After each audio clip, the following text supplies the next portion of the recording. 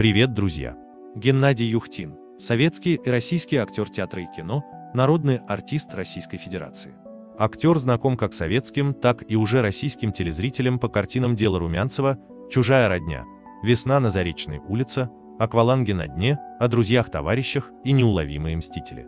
В советский период актер в основном появлялся на экранах в ролях обычных граждан того времени – рабочих, инженеров, партийных работников и даже военных. Но в творческой биографии актера появлялись и исключения. Юхтин играл и шпионов, и анархистов, и лирических героев. С 90-х актер все чаще играл полицейских, в том числе и бывших. Сегодня актер также продолжает появляться на экранах, несмотря на возраст. Настоящее имя знаменитого актера и народного артиста Геннадия Юхтина – гений. Сестра артиста тоже получила удивительное имя – Идея. Так, в полном соответствии с веяниями эпохи, назвали детей молодые коммунисты, родители Юхтина. Детство Геннадия Гавриловича Юхтина окончилось в 10 лет. В этом возрасте мальчик стал круглым сиротой. Родители политруки Красной Армии погибли на фронте. Мальчика определили в специальный детдом, в котором собрали таких же сирот погибших офицеров-фронтовиков. Но отсюда, из усадьбы Спасская на живописном берегу Москва-реки, парень сбежал. В детском доме царила тяжелая атмосфера. Среди несовершеннолетних детей оказалось немало отъявленных хулиганов и преступников. Геннадий Юхтин оказался в Поволжье. Здесь мальчик тоже попал в детский дом, оказавшийся полной противоположностью тому первому, в Подмосковье. Здесь мальчик встретил воспитательницу, заменившую сироте маму. В прошлом актриса, воспитательница всячески привлекала детей к участию в самодеятельности. Юхтин с удовольствием выходил на сцену, чем радовал наставницу, охотно открывавшую мальчику первые секреты актерского мастерства. После окончания средней школы и выхода из детдома, Геннадий Юхтин отправился покорять столицу. С первой попытки юноша поступил в Авгик. Студенту несказанно повезло. Будущий актер оказался зачислен в группу легендарных мхатовских артистов Ольги Пыжовой и Бориса Бибикова. Вместе с ним учились будущие звезды советского кинематографа Руфина Нифонтова, Изольда Извицкая, Татьяна Конюхова и Надежда Румянцева. Годы учебы в институте были напряженными – Начинающим актерам, кроме репетиций, приходилось думать и о том, где бы заработать и получить небольшую прибавку к стипендии, поэтому времени на романы почти не оставалось. Не только в студенческие, но и в годы, когда он стал профессиональным актером, личная жизнь Геннадия Юхтина была неустроенной. Сначала он жил в общежитии, а потом, уезжая в многочисленные творческие командировки, его пристанищем были гостиницы. Поскольку молодой артист был абсолютно свободен, и ему не приходилось заботиться о жене и детях. Такое положение Юхтина не сильно расстраивало. Однако мысли о создании собственной семьи постоянно навещали актера. Ему хотелось иметь собственный дом, где бы его любили и ждали. В Одессе, куда актер приехал на премьерный показ фильма «Мальва», он познакомился с переводчицей по имени Елена, которая произвела на него огромное впечатление. Это знакомство стало незабываемым событием в личной жизни Геннадия Юхтина – Елена тоже увлеклась молодым актером. Вместе они проводили немало времени. Однако роман закончился, как только Юхтин покинул Одессу. Были в личной жизни актера и другие романы, в том числе и с актрисами. Но семью он создал довольно поздно и с девушкой, не принадлежащей к миру театра и кино. К тому времени у Геннадия Гавриловича, несмотря на то, что он уже имел богатый послужной список ярких ролей в кино, не было собственного жилья, и только благодаря участию в польско-советском фильме «Ленин в Польше» ему удалось получить квартиру в актерском общежитии. Некоторое время спустя он улучшил свои жилищные условия, купив однокомнатную квартиру.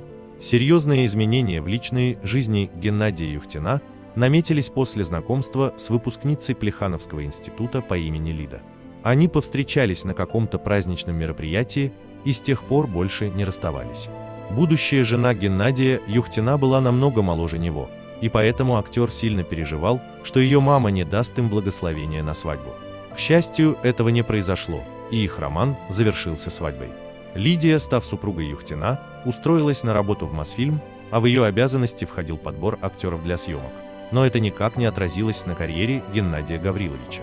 Жена занималась штатными актерами Мосфильма, но меня ни разу никуда не порекомендовала, не такой у нее характер, чтобы породить родному человечку. А может разок и стоило бы. Но это я шучу, говорит Юхтин.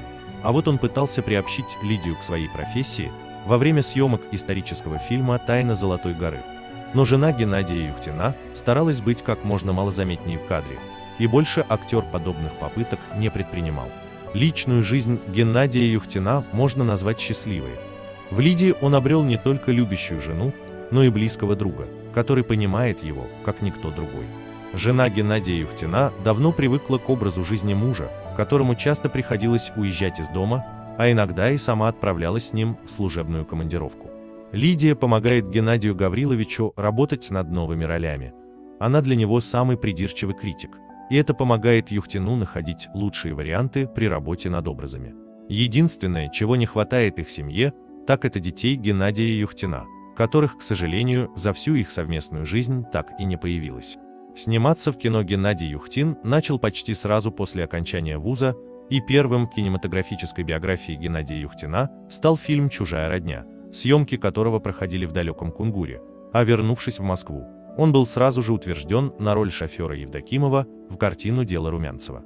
Успех к молодому актеру пришел сразу после выхода этих фильмов на экраны, на обложках журналов появились его фото, его начали узнавать на улице. Юхтин считает, что успех первой роли подарил ему возможность сняться в таких картинах, ставших классикой советского киноискусства, как «Баллада о солдате» и «Весна на Заречной улице». В первом фильме Геннадий Гаврилович снялся совсем в небольшой роли, которую он сыграл так, что она сразу запомнилась зрителям. В списке персонажей, сыгранных Юхтиным в кино очень много военных. Ему не раз приходилось совершать подвиги и погибать в кадре, и на съемочной площадке нередко возникали опасные ситуации. В тяжелый перестроечный период Юхтину повезло, его пригласили в сериал «Петербургские тайны» на роль лакея князей Чечевинских. И это помогло актеру пережить то тяжелое время. Юхтина приглашали не только на центральные роли, но и в эпизоды, которые в его исполнении не оставались незамеченными. Несмотря на преклонный возраст, актер и сейчас старается не сидеть сложа руки. Геннадий Гаврилович встречается со зрителями, участвует в концертах, снимается в кино.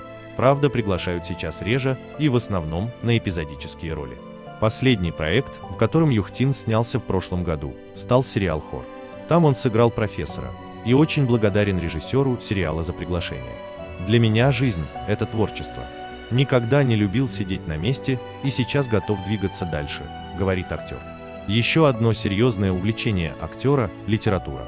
Юхтин всю жизнь собирал так называемые актерские байки, записывал интересные сюжеты из жизни и работы, которые позже использовал при создании двух своих книг. Не менее интересно ему заниматься фотографией, Геннадий Гаврилович может фотографировать бесконечно. Делитесь этим видео с друзьями и берегите себя. А также не забывайте подписаться, поставить лайк и нажать на колокольчик, чтобы не пропустить новые видео.